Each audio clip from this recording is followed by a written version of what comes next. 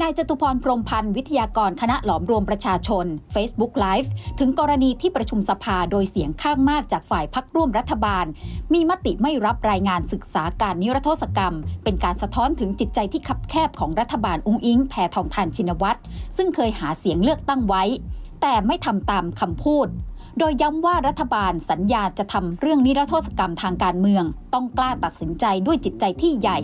พื่อปลดปล่อยผู้ต้องคดีได้มีโอกาสกับชีวิตใหม่ หากจิตใจไม่ใหญ่แบบพลเอกเปรมตินสูลานนท์อดีตนายกรัฐมนตรี และอดีตประธานองคมนตรี กับพลเอกชวลิตยงใจยุทธอดีตนายกรัฐมนตรีที่ออกกฎหมายนิรโทษกรรมหากไม่มีการนิรโทษกรรมแล้ว วันนี้จะมีคนอย่างนายภูมิธรรมเวชยชัย มานั่งรองนายก ควบรัฐมนตรีว่าการกระทรวงกลาโหม รวมทั้งจะมีนายแพทย์พรมมินเลิศสุริเดชเป็นเลขาธิการนายกรัฐมนตรีไม่ได้ เพราะเคยจับอาวุธสู้กับรัฐบาลไทย โดยทั้งฝ่ายกองทัพ และฝ่ายกองทัพปลดแอกต่างสู้รบ และเสียชีวิตฝ่ายละนับหมื่นมาแล้วการแก้มาตรา 112 ยิ่งหาความสำเร็จไม่ได้อยู่แล้ว ทั้งที่พักเพื่อไทยหาเสียงเลือกตั้งแก้มาตรา 112 สิ่งสำคัญยังอธิบายว่าเมื่อเป็นรัฐบาลจะไปดำเนินการประกันตัวผู้ต้องขังคดีมาตรา 112 ออกจากเรือนจำให้เร็วที่สุด ซึ่งสิ่งนี้เป็นอีกบริบทที่นายกอุ้งอิง เคยพูดไว้เมื่อไม่ได้เป็นนายก แต่เมื่อได้เป็นนายกก็ลืมในสิ่งที่ตัวเองเคยพูดไว้ทั้งหมด ส่วนโครงการตั้งบ่อนคาสิโนนั้น นายจตุพรเชื่อว่าจะเกิดขึ้นเร็วกว่าการออกกฎหมายนิรโทษกรรมทางการเมือง เพราะขณะนี้นายจุลพันธ์อมรวิวัฒรัฐมนตรีช่วยว่าการกระทรวงการคลัง เตรียมเสนอร่างกฎหมายเข้าคอรมอเพื่อขอมติ โดยจะทำให้เสร็จภายในสิ้นปี 2567 จากนั้นนำเข้าสู่การประชุมสภาในสมัยถัดไป ซึ่งหวังให้ผ่านสภาในเดือนเมษายน 2568 ร่างกฎหมายตั้งบ่อนคาสิโน มีการระบุดำเนินการ 10 แห่งประกอบด้วยพัทยา ภูเก็ต พังงา เชียงใหม่ อุดร ขอนแก่น น้องคาย โคราช อุบล และหาดใหญ่ ที่สำคัญคงต้องรวมถึงกรุงเทพด้วย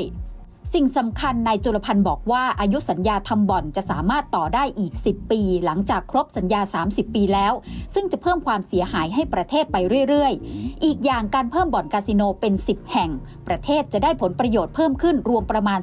350,000 ล้านบาท ถ้าทำการท่องเที่ยวดีๆ ซึ่งปกติทำรายได้เข้าประเทศถึง 3.3 ล้านล้านต่อปีดังนั้นในช่วง 30 ปี ช่วงเวลาเดียวกับทำบ่อนคาสิโน รัฐอาจมีรายได้ทะลุ 90 ล้านล้าน นายจตุพรกล่าวว่าสิ่งสำคัญรายได้ไม่ใช่เก็บเงินคนไทยที่เข้าไปเล่นหัวละ 5,000 บาท แต่มาจากบ่อนออนไลน์ที่จะลุกลามไปถึงเด็กมัธยมด้วย ดังนั้นการประเมินคนเล่นพนันคงไม่ใช่ปีละ 4 ล้านคน จากคนไทย 3 ล้าน และต่างชาติ 1 ล้าน แต่ยังลามไปถึงเยาวชน คนจนหาเช้ากินค่ำยังต้องลุ้นพนันออนไลน์ทุกวันเพื่อความรวดเร็ว ไม่ต้องรอโชคจากหวยลอตเตอรี่ทุก 15 วัน ดังนั้นบ่อนออนไลน์ที่จะเกิดขึ้นย่อมมีความร่วมมือกับบ่อนต่างประเทศ แล้วถ่ายทอดผ่านเว็บพนันมากถึง7 0 0 0 0 0เว็บเพจ ที่เป็นผลประโยชน์มหาศาลกระทรวงที่รับผิดชอบคือ DES โดยรัฐมนตรีประเสริฐจันทรรวงทอง กล้ายืนยันได้หรือไม่ว่าวันนี้ไม่มีเว็บพนันออนไลน์ในไทย นายจตุพรกล่าวว่าการตั้งบ่อนคาสิโนจะดำเนินการได้เร็วมาก เพราะรายได้ที่ไม่เกี่ยวกับให้ผลประโยชน์รัฐนั้น มีมหาศาลกว่าทุกโครงการ แต่เป็นการทำร้ายประเทศอย่างไม่ควรให้อภัยเลย อีกอย่างที่สำคัญถ้าบ่อนคาสิโนสร้างความสำเร็จให้จริง แล้วทำไมประเทศจีนสร้างเอนเตอร์เทนเมนต์คอมเพล็กซ์โดยไม่มีบ่อนการพนัน แล้วยังทยอยลดบ่อนในมาเก๊าลงตามลำดับอีกด้วย ส่วนพรบขนส่งทางรางของพรรคเพื่อไทยที่เสนอสภานั้น